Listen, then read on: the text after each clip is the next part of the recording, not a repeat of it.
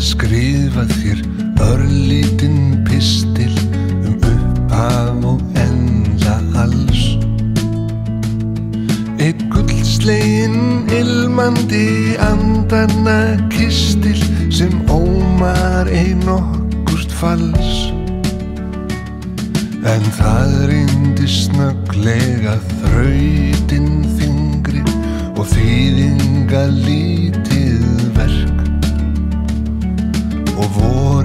það líður, ég verð ekkert yngri og veröldin snýst, þú varst alltaf svo stór og sterk.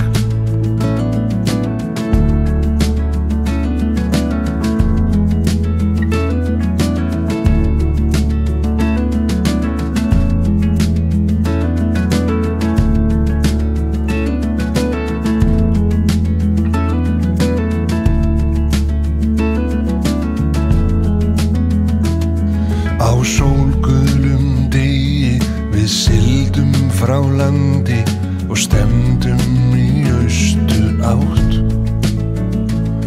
Við hugðumst þar byggja okkur hallir úr sandi, handan við hafið blátt. En sjórin hann hafði þó annað í hyggju en að hleyp okkur strax í hvernig sem viðrar, bundin við bryggju, báturinn okkar hefur eingöngu sitt í strand.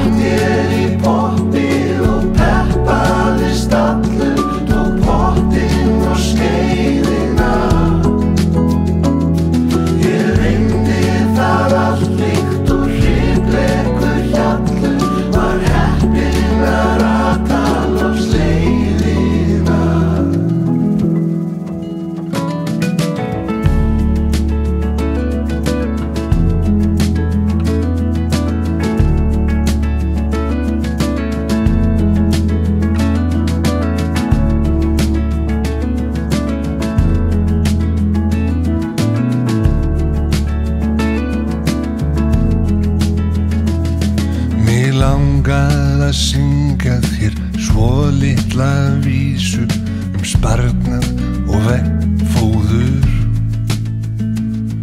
En víst er hún maður en annað um ísu og almenna skinnsemi, þrældóm og